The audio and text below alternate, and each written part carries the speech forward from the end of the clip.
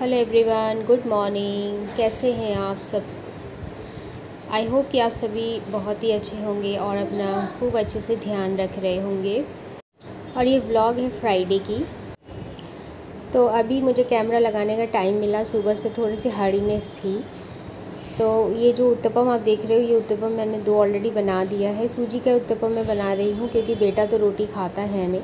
तो उसी के लिए सिर्फ़ मैं बना रही हूँ ताकि शाम को भी अगर बच जाए ना तो उसका वहाँ से हो जाए। और उसने क्या किया ना, आज दोपहर को लंच में भी उसने यही खाया और सुबह ब्रेकफास्ट में भी यही खाया। राइस रोटी कुछ नहीं खाया उसने। और मैं कुछ रोटियाँ भी बनाऊँगी अभी, जैसे चार पाँच तो मैं बनाऊँगी और उत्तपम सिर्फ़ मेरे बेटे के लिए ही मैं बना रही हूँ।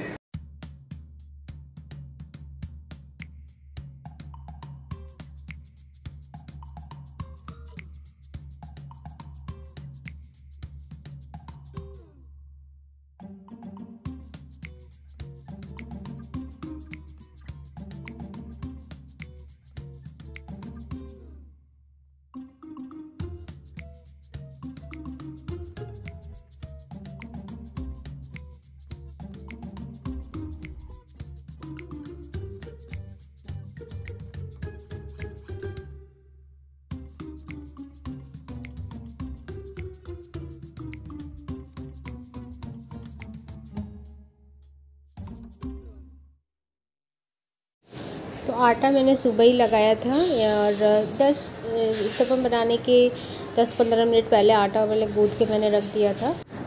तो सब, आटा पहले से गूँद के रखने से एक चीज़ तो होता है कि रोटियाँ बहुत सॉफ्ट सॉफ्ट सी बनती हैं।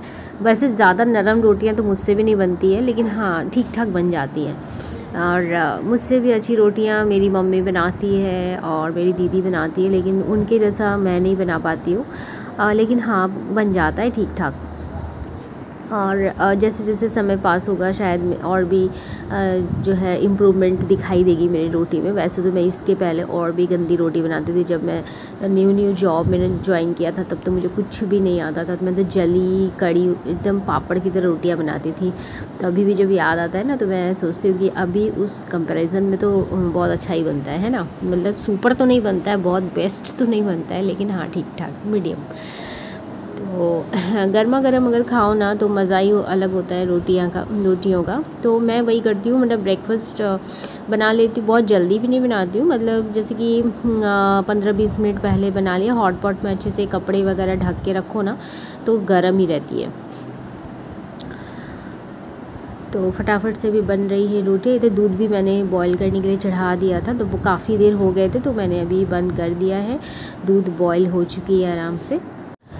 और कुकिंग करना तो उस टाइम में मतलब जब मैं नहीं जानती थी कुकिंग तब तो मुझे बहुत ज़्यादा ही टफ़ लगता था। तो मैं मैं तो यही सोचती थी कि काश मैं कभी कुकिंग कर पाऊँ। मुझे पढ़ाई से भी ज़्यादा टफ़ लगता था ये सब चीज़, क्योंकि कभी किया नहीं था ना इसी वजह से। और जब खुद पे पढ़े, पढ़ा ना मतलब जब घर छोड़ के रेंट पे रहने लगी जॉब करने लगी, तब जब खुद पे आई ना, तब धीरे धीरे करके जो है बनाना सीख ही लिया। हाँ शुरुआत में तो अच्छी बनेगी नहीं मतलब खुद किया खाना ही मैं नहीं खा सकती थी, इतना ख़राब बनाती थी मैं। सब्ज़ी वगैरह कुछ भी नहीं बना सकती थी मैं तो पूछ पूछ के, कितना मैं पूछ पूछ के बनाती, है ना? तो जब ऑफ़िस जाने की जल्दी होती थी तो हड़बड़ी में वैसे ही बन जाता था और वही मैं उठ, ले जाती थी टिफ़िन। तो फिर बीच बीच में बाहर का खाना भी हो जाता था। तो वैसे अभी तो मतलब पहले की तुलना में अभी बहुत कुछ सीखी हूँ और सब कुछ मैंने मैक्सिमम चीज़ें मैंने यूट्यूब से सीखी हैं तो यूट्यूब को मैं थैंक यू बोलना चाहती हूँ। अगर यूट्यूब ना होता तो काश में खाना बनाने भी नहीं, मुझे आता। तो मैंने वहाँ से बहुत कुछ सीखा है और अभी भी सीख ही रही हूँ। तो इधर बात करते ही करते आप लोगों से इधर देखिए रोटियाँ भी बनानी हो गई हैं। अब बाड़ी आती है प्लेटफॉर्म को साफ़ करने की। तो आटा जो भी गिर गिरता है ना वो प्लेटफॉर्म के ऊपर, वो मैं छोड़ती नहीं, मैं संग संग क्लीन कर लेती हूँ। बिल्कुल मैसी सा लगता है, नहीं तो। और आज बिल्कुल सिंपल सा है खाना बनाऊँगी। भिंडी ना बिल्कुल नाम का ही है मतलब दो, चार, पाँच ही भिंडियाँ हैं तो जो भी हैं उसको मैं आज कट करके बना दूँगी। भिंडी तो मैं अभी नहीं ला रही हूँ, बाज़ार से मंगवा भी नहीं रही हूँ, क्योंकि बेटा तो खाना बंद ही कर दिया और मुझे उतनी कोई अच्छा नहीं लगता मतलब दो, चार दिन गैप करके फिर अच्छी लगती है। तो आज जो भी बनेगा उसमें से हम लोग हाफ़ हाफ़ शेयर करके खा लेंगे। और आज तो है दिन फ्राइडे का और वैसे सैटरडे संडे आता है ना तो थोड़ा रिलीफ लगता है। मतलब हार्डी डेज़ जो रहती है ना मंडे टू फ्राइडे वो सैटरडे संडे आने से थोड़ा सा रिलीफ हो जाता है। मन तो करता है कि बस सारे काम बंद करके मैं सोती रहूँ रेस्ट करूँ, यही सब। और कुछ अच्छा ही नहीं लगता। मतलब कुकिंग वगैरह तो मतलब जैसे लगता है कि मैं किचन में ना एकदम ताला बंद करके रख दूँ बिल्कुल भी अच्छा नहीं लगता कुकिंग करने में छुट्टी के दिन है ना? मन करता है बाहर चले जाए घूमने तो आ, ऐसा करने से तो अच्छा ही होता है लेकिन फिर मैं सोचती हूँ कि आ, मतलब तीन टाइम बाहर खाने खाएँगे तो हमारा डाइजेशन भी थोड़ा सा प्रॉब्लम करता है है ना? तो दिन में एक दो बार इट्स ओके लेकिन आ, हमें एक टाइम तो घर का खाना खाना ही चाहिए। तो मन नहीं मानता, है ना? सोचती तो मैं बहुत कुछ बाहर खा लूँगी। जैसे कि जब बेटा नहीं हुआ था उसके पहले की बात कर रही हूँ मैं। जब छुट्टियाँ होती थी ना सैटरडे संडे हम लोग घूमने चले जाते थे, बाहर का खा लेते थे, कुछ भी करते थे। मतलब सोचते नहीं थे उतना कि बाहर का खाएँगे, तबीयत ख़राब होगी तो अभी ना आदि होने के बाद ना मतलब बहुत ही बहुत ज़्यादा नहीं मतलब थोड़ा सा हेल्थ कॉन्शियस हो गई हूँ। मतलब वही है कि अगर मैं बीमार पड़ गई तो बेटे को कौन देखेगा? तो इसी वजह से थोड़ा सा हेल्थ कॉन्शियस तो होना ही पड़ता है ना, बच्चे होने के बाद। तो कौन कौन अग्री करेंगे मेरे इन बातों से ज़रूर से कमेंट करके बताइएगा। तो अभी मैं फ्रिज खोल के ये चेक कर रही थी कि क्या क्या सब्ज़ियाँ हैं। बहुत दिनों से जो ओल्ड सब्ज़ी है उसको मैं आज फिनिश करूँगी। तो सारी सब्ज़ियाँ तो बनानी पॉसिबल है नहीं और उतना कोई खाएगा भी नहीं इसी वजह से। तो तोड़ी थी दो मेरे पास तो एक ही बनाऊँगी और उसको दाल में आज डाल दूँगी मैं। तो मसाला वाला आज थोड़ा सा दाल में बनाऊँगी। है तो मसूर की दाल सिंपल वाली ही, लेकिन उसको थोड़ा अलग तरीके से बनाऊँगी मैं। और फ्रेंड्स अगर आप न्यू हैं मेरे इस चैनल में तो जल्द से जल्द पहले तो आप सब्सक्राइब कर लीजिए, ताकि मैं जब भी कोई नया ब्लॉग लेकर आऊँ, आपके पास नोटिफिकेशन सबसे पहले जाए।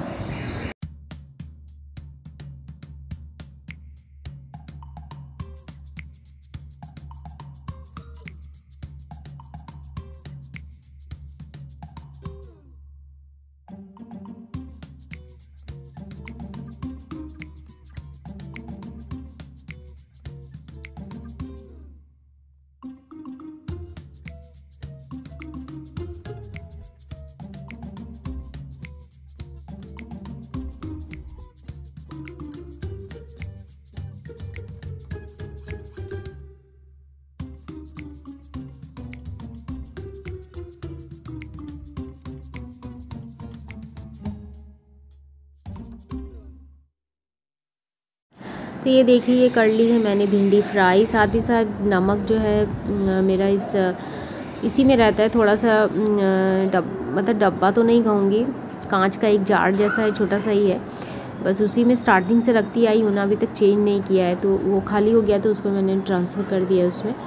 और इतनी थोड़ी सी भिंडी बनाने में भी ज़्यादा टाइम नहीं लगा मुझे। फटाफट से बन गई। बस ये एक टाइम ही होगा। और बेटा अगर लेगा तो दे दूँगी यहाँ से। हाँ उसने आज खाई थी भिंडी। और ये देखिए, दाल भी मैंने ना बॉईल करके रख दी। दाल में मैंने आलू फिर तोरी, एक टमाटर, वो सब डाल दिया था, नमक, हल्दी और हरी मिर्च। ये सब डाल के ऑलरेडी मैंने दाल को तैयार कर लिया है। बस इसका जो है मसाला, वो मैं बनाऊँगी अभी। मसाले में ज़्यादा नहीं, बस प्याज और लहसुन का बस तड़का ही लगाऊँगी। एकदम हटके लग रही थी आज दाल दाल खाने में भी अच्छी लग रही थी। और इसके साथ और कुछ अभी नहीं बनाऊँगी। हाँ रात को अगर ज़रूरत पड़ी तो आलू उबाल के मैं आलू का कुछ बना लूँगी, लेकिन अभी फ़िलहाल के लिए तो अभी और कुछ मन भी नहीं कर रहे ना ही खाने को और ना ही बनाने को। क्योंकि बेटा तो मतलब उसका तो रोटी चावल से दूर दूर तक अभी कोई नाता नहीं है। मतलब साइड डिश में जैसे उत्तपम हो गया, वो सब चीज़ें, डोसा हो गया, यही सब चीज़ें पसंद कर रहे हैं ना। तो यही कि उसके लिए थोड़ा सा अलग बनाने के चक्कर में मेरा एक सब्ज़ी की रेसिपी वो थोड़ा कम बन रहा है। तो इधर मैंने दाल के लिए तड़के की तैयारी कर रही हूँ। तेल में मैंने जीरा, एक सूखी लाल मिर्च, लहसुन को कट करके रखा था बारीक बारीक उसको डाल दिया है। प्याज को डाल दिया। अभी इसको गोल्डन ब्राउन होने तक भूनेंगे। तो आँच को लो पे ही रखा है, नहीं तो ये जल जाएगी। और फ्रेंड्स, आप लोग कहाँ से मेरा ये ब्लॉग देख रहे हो? लोकेशन आपका ज़रूर से मेंशन कीजिएगा, अपना नाम मेंशन कीजिएगा। और कैसा लग रहा है मेरा ये ब्लॉग वो भी ज़रूर से कमेंट करके बता दीजिएगा। अगर कुछ भी अच्छा लगे ना तो लाइक और शेयर ज़रूर से कर दीजिएगा हाँ? और ये देखिए, दाल को भी इसमें कर दिया है अब ट्रांसफ़र और बस अच्छा सा एक बॉयल आ जाएगा और इसको मैं ट्रांसफ़र कर दूँगी। ये बन के रेडी है। बहुत ज़्यादा इसको बनने में समय भी नहीं लगता। तोड़ी तो जल्दी से गल जाती। आलू भी जो है, छोटे ही साइज़ मैंने कट करके दाल में डाले थे। और टमाटर वगैरह देख सकते हो, नज़र ही नहीं आ रहा है, वो भी बिल्कुल ही गल गया है।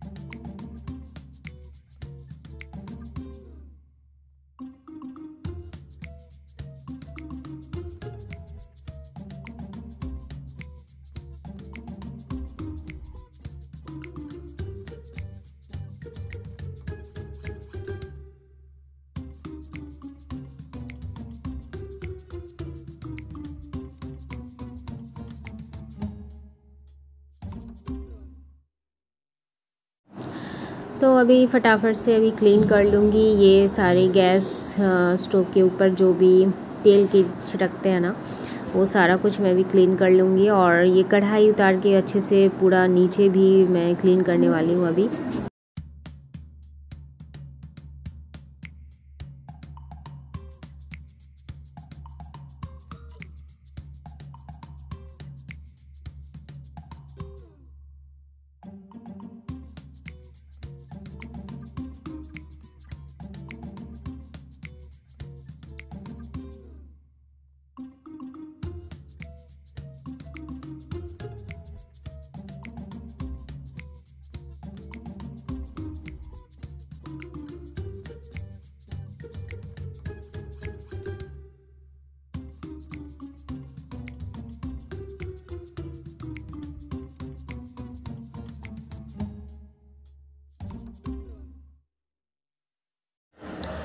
और ये दाल इतनी अच्छी बनी थी ना मैंने इसको दो टाइम खाया मुझे तो बहुत ही अच्छी लग रही थी। जस्ट ऐसा कभी कभी सिंपल दाल भी थोड़ा सा मसाले के साथ भून लो ना तो अलग ही एक टेस्ट आता है दाल का। तो मसूर की दालें भी ज़्यादातर खानी हो रही है। वैसे मुझे तो नहीं खानी चाहिए मसूर की दाल थोड़ा सा मतलब आ, मुझे प्रॉब्लम होता है मसूर की दाल खाने से। लेकिन क्या कर सकते हैं, वही दाल जो है ना झटपट से बन भी जाती है, ये दाल हुआ, फिर मूंग की दाल हो गई। तो बेटा भी मसूर की दाल ही थोड़ा सा खाता है, और कोई दाल वो नहीं खाता है तो उसी के बारे में सोच के और थोड़ा यही सब दाल में ज़्यादातर अभी बना रही हूँ। नहीं तो कभी कभार क्या करती हूँ ना मूंग मसूर दोनों के एक साथ ऐड कर देती हूँ तो वो भी खाना होता है। तो चने की दाल अभी बहुत दिनों से मैं नहीं बना रही, सोच रही हूँ चने की दाल मैं एक दिन बनाऊँगी। कब बनाती हूँ मैं देखती हूँ, ऐसा कुछ सोच के तो मैंने रखा है नहीं। और पता है, टमाटर भी ना मतलब फ्रिज में ना ज़्यादा दिन रहते नहीं हैं। अभी दो टमाटर भी जो है ख़राब होने पर थे, आज तो मैंने आधा फेंक दिया, आधा दिया दाल दाल में। लेकिन ऐसी कोई रेसिपी जैसे दम आलू होती है ना, उसमें थोड़ा टमाटर लगते हैं ज़्यादा, लेकिन दम आलू बनाऊँगी फिर बेटे के लिए फिर अलग बनाऊँ, थोड़ा सा ना झंझट सा हो जाता है। तो अभी ना बत, मतलब बच्चे के बारे में ज़्यादातर सोच के मुझे खाना बनाना पड़ता है। तो हम लोग के हम लोग तो कुछ भी खा लेते हैं लेकिन बेटा तो नहीं खाएगा ना तो इसी वजह से। तो तेल के छींटे जो भी ये जो टाइल्स देख रहे हो ना इस पर भी थोड़ा बहुत पड़ता है। और इसको भी लगेगा थोड़ा सा क्लीन कर लेती और ये जो आप कांच देख रहे हो ना इसको थोड़ा सा एक दिन डीप क्लीन की भी ज़रूरत है। वैसे तो अभी कपड़े से मैं पोछ दे रही हूँ डब्बे वगैरह। जो बाहर रहते हैं ना, इसमें भी तेल के छींटे पड़ते रहते तो थोड़ा सा मैं इसको भी लगे हाथ क्लीन कर लेती हूँ। ये जो चिमनी आप देख रहे हो ना, इस पर भी तेल बहुत ज़्यादा छिटकता है तो इसको भी हर रोज़ जो है, बहुत बड़ा मेहनत का काम है। लगवा तो लो एक बार, लेकिन उसके बाद जो सफ़ाई करनी पड़ती है ना, वो तो हम ही जानते हैं। तो बहुत ही प्रेशर से थोड़ा सा ये करना पड़ता है, और चिमनी ऐसे तो साफ़ होती नहीं है। उसके लिए अलग से फिर कैरोसिन तेल के साथ बहुत कोई करते हैं। सफ़ाई मैंने तो अभी तक किया नहीं है। मैं तो ऐसे कपड़े से ही पोछती हूँ। और सफ़ाई करने के बाद हाथों की हालत हो जाती है फिर ख़राब। और ना गलती से ना मैंने लाइट ऑफ़ कर दिया। मैं चिमनी का लाइट ऑफ़ करने के चक्कर में ट्यूब लाइट ही बंद कर दिया। तो मुझे तो अच्छे से दिखाई दे रही थी। तो आपको थोड़ा सा अंधेरा दिख रहा होगा इधर। क्योंकि बाहर से अच्छी खासी लाइट आ रही थी। तो मुझे कोई प्रॉब्लम नहीं हो रही थी। काम करने में सब कुछ दिखाई दे रहा था मुझे। तो बस ये जो कुकिंग का और क्लीनिंग का है, मेरा मतलब किचन का जो काम है, वो ऑलमोस्ट डन है। अभी जस्ट मुझे नहाना है, नहा के पूजा करना है थोड़ा सा फिर बेटे को मैं लंच करवा दूँगी और फिर खुद भी लंच कर लूँगी। और ये देखिए, हमारा इस टाइम में लंच वगैरह सब कुछ हो चुका था। थोड़ा सा मैं बरामदे में आई हूँ, ये पौधे वगैरह मैं देखती रहती हूँ, मुझे अच्छा लगता है। थोड़ा सा पानी की देने की ज़रूरत अगर होती है तो वो भी मैं दे देती हूँ। मैं इधर बेटे से भी बात कर रही थी तो ये बेटा ही मेरा जो है थोड़ा सा वीडियो कर रहा था। और आज देख सकते धूप कितनी अच्छी आई हुई है, आज बारिश हुई नहीं है। तो इस टाइम में बेटे को मैंने सुला दिया था और सो नहीं रहा था, लेकिन मैंने उसको डांटा है, तब जाके वो सोया है, नहीं तो मेरा काम तो नहीं होता है, फिर नहीं तो एडिटिंग का काम बोल लो या फिर ये सब साफ़ सफ़ाई का काम बोल लो, वो जगह रहने से ना बहुत डिस्टर्ब करता है। तो उसको मैंने डांट टपट के सुलाया है अभी तो मैं थोड़ा सा ये क्लीनिंग कर रही हूँ। तो इसके ऊपर ना मेडिसिन के काफ़ी सारे बॉटल्स जो है वो जमा हो हो जाते हैं। मतलब उसको बाहर ही रखना पड़ता है इमरजेंसी में कुछ भी अगर हाथों हाथ रहता है सामने तो फिर ठीक है, नहीं तो फिर इधर उधर ढूंढना पड़ता है। वैसे तो एक बॉक्स है मेडिसिन की, उसमें रखने से अच्छा मतलब जो जो मतलब ज़्यादातर यूज़ होते हैं मेडिसिन वो सब बाहर ही रखती हूँ। तो बॉटल वगैरह हटा के ना अभी डाइनिंग टेबल के ऊपर मैंने रख दिया था। तो उसको एक एक करके भी मैं ला रही हूँ और बेड के ऊपर मैं जो है रखती जाऊँगी और इधर मैं पोछती भी जा रही हूँ। इसमें से कुछ बॉटल प्लास्टिक के हैं और कुछ कांच के हैं। तो इधर देख सकते हो, बेटा सो रहा है अभी। तो थोड़ा सा भी आवाज़ वगैरह करने से भी ना तो वो उठ जाता है। इसीलिए बड़ी सावधानी से मुझे काम भी करना होता है। जैसे कि अगर किसी का फ़ोन भी आ गया, रिंग की आवाज़ से ना वो उठ जाता है। वैसे तो मेरी भी नींद इतनी ज़्यादा ही हल्की है मतलब कुछ भी आवाज़ करो तो मेरी भी नींद खुल जाती है। आ, वैसे तो नींद मुझे आती भी नहीं है दोपहर के टाइम में वही थोड़ा सा बस लेट जाती हूँ दस मिनट के लिए।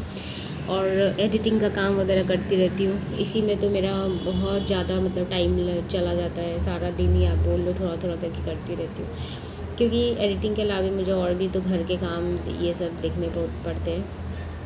तो थोड़ा सा आवाज़ किया हुआ था बेटा थोड़ा सा उठ गया था। तो मैं सोची, ना, वो सो ही जाए तो ठीक रहेगा, उठे ना, नहीं तो फिर मेरा पूरा काम जो है वो धड़ा का धड़ा रह जाता है। तो देख सकते हो, इतनी सारी बॉटल जो है वो सारा कुछ क्लीन किया मैंने। फिर जहाँ पे कांच के ऊपर जो रहता है, उस कांच को क्लीन किया। तो अभी बिल्कुल नया सा हो गया आपको मैं नज़दीक से दिखाती हूँ।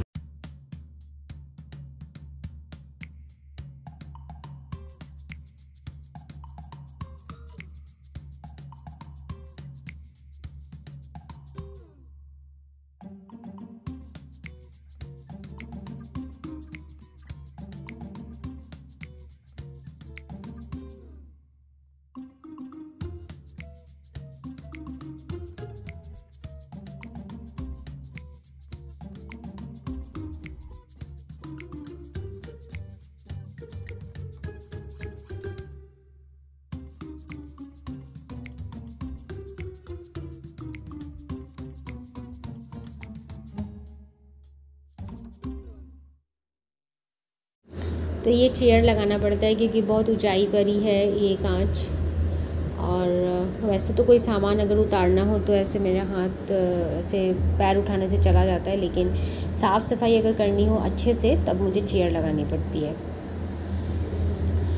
तो बिल्कुल नया सा हो गया है। कांच की कोई भी चीज़ अगर आप मतलब सिर्फ़ कपड़े से पोछ दो ना तो ही नया सा एक बिल्कुल हो जाता है। और ज़्यादा मेहनत भी नहीं पड़ता है कांच वगैरह साफ़ करने में, लेकिन हाँ वही टाइल्स वगैरह साफ़ करने बहुत मेहनत हो जाती है। जैसे कि जैसे कि बाथरूम हो गया, फिर किचन का है, ये सब टाइल्स वगैरह साफ़ करने में बहुत बड़ा मेहनत का काम होता है ये सब। नज़दीक से देखिए, बिल्कुल नया सा लग रहा है ना? पूरा चमक सा गया है। तो ये चार्जर वगैरह ये भी बहुत ही काले हो गए थे तो कॉलिंग की ज़रूरत थी मुझे। क्योंकि उसी से ना ये जो ब्लैक ब्लैक हो जाता है, जो वाइट चार्जर ये बिल्कुल चमक सा जाता है, लेकिन अभी है नहीं तो रहती तो मैं ज़रूर कॉलिंग से इसको भी साफ़ कर लेती, ये भी बिल्कुल नया सा हो जाता नहीं तो। कपड़े से ही मैंने अभी फ़िलहाल के लिए पोछ दिया है, और ये जो स्विच बोर्ड वगैरह इसको भी मैंने अच्छे से क्लीन कर लिया है अभी। तो सारा दिन ही हमारा जो है घर का काम यूँ ही चलता ही रहता है डस्टिंग का हो गया कुकिंग तो है ही तो बहुत सारे काम हो जाते हैं घर पे। और ऊपर से बच्चे को देखना तो मतलब हालत ख़राब सी हो जाती है। मतलब शाम के बाद ना मेरी हालत ख़राब होने लगती है। मतलब एक थोड़ी सी अगर रेस्ट ले लूँ या नींद आ जाती है तो फ्रेश सा लगता है, लेकिन नींद तो आने से नहीं, नींद नहीं आती मुझे, क्योंकि हमेशा मुझे काम की टेंशन नहीं लगी रहती है। और इधर देखिए हाथों हाथ अभी फ्रिज को भी मैं क्लीन कर लूँगी और माइक्रोवेव जो है उसको भी क्लीन कर लूँगी। और फ्रिज भी बहुत ज़्यादा गंदा नहीं है। कॉलिंग होने से मैं उससे भी क्लीन कर लेती हूँ बीच बीच में। वैसे भी बेटा जो है हाँ बहुत ज़्यादा इसको खोलना लगाना करता है ना तो थोड़ा सा ये गंदा हो ही जाता है तो इसको भी लगे हाथ में क्लीन कर लूँगी तो ये था मेरा आज का व्लॉग आई होप कि आप सभी को पसंद आया होगा। पसंद आए तो ज़रूर से लाइक शेयर और सब्सक्राइब करके ही जाना। अपना ढेर सारा प्यारा प्यारा सा कमेंट छोड़ना ना भूलें और मुझे मोटिवेट किया कीजिए अपने कमेंट के ज़रिए। और मिलती हूँ आपसे जल्दी नेक्स्ट ब्लॉग को लेकर, तब तक के लिए bye love you all tata and take care